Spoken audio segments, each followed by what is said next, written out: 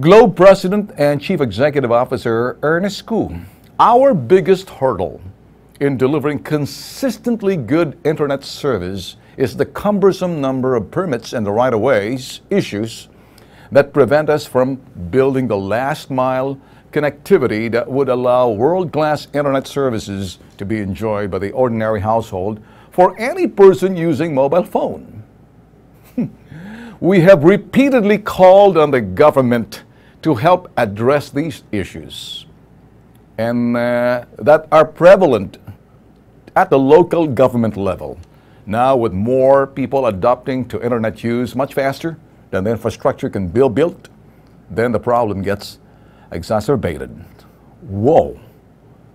That's what you're good at. Ang galing ninyo. Turo kayo para kayong si Benigno Aquino Jr. Naninisi, tinuturo. Kumbaga, niloloko ninyo yung tao eh. Globe, una kayo nagsalita. Why don't you just do what you need to do and do it? And then, pag kung sino nagpapahirap sa inyong lokal na pamahalaan, kundi kayo mga putok sa buong pendeho na katulad yung mga kokote, yung mga dilawan kasi kayo eh. Hindi lang dyan eh. You are so used to giving excuses because ah, kayo yung mga sinasabi natin mga crony, mga elitista eh. You know the reason why you're saying that?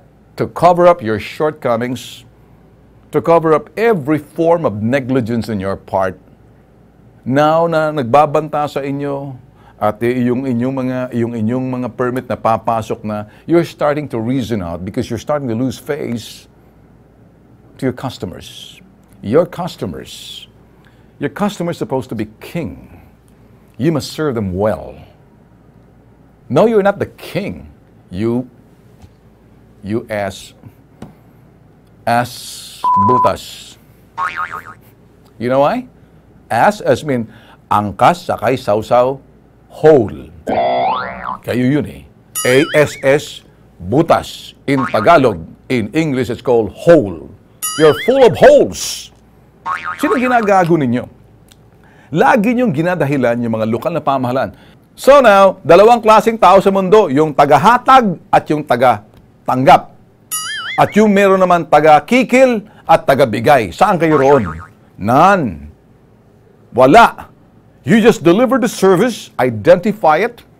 Kung kinakailangan nyo ng surveillance, ba't hindi nyo kami tawagin sa bitag para i-surveillance namin yan tapos ilagay natin yan sa process na kung saan i-expose natin? Ang yaman-yaman nyo eh. Meron naman kayong GMA na ka, ka, ka, kapuso. Hindi ba? Di, lapitan nyo yung mga programa nila para sabihin ninyo, nahihirapan kami. Gusto namin pagsilbang taong bayan. Eto mga pandehong, pendehong putok sa buhong mga politiko, nagpapahirap sa amin. Easy as that. The question, the problem is, you're full of holes. Because you're, you're ass butas.